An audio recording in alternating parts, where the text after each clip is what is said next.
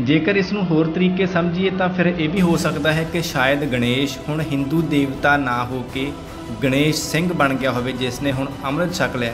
ਗਣੇਸ਼ ਨੇ ਹਿੰਦੂ ਧਰਮ ਦੇ ਰੀਤੀ ਰਿਵਾਜ ਤਿਆਗ ਕੇ ਸਿੱਖੀ ਅਪਣਾ ਲਈ ਹੋਵੇ, ਸੋਚਣ ਵਾਲੇ ਤੇ ਬੋਲਣ ਵਾਲੇ, ਜਿੰਨੇ ਮੂੰਹ ਓਨੀਆਂ ਗੱਲਾਂ ਹਨ। ਪਰ ਅਜਿਹੀਆਂ ਘਟਨਾਵਾਂ ਕਦੋਂ ਤੱਕ ਵਾਪਰਦੀਆਂ ਰਹਿਣਗੀਆਂ? ਕੀ ਕਦੇ ਸਿੱਖਾਂ ਨੂੰ ਵੀ ਸੁੱਖ ਦਾ ਸਾਹ ਆਵੇਗਾ?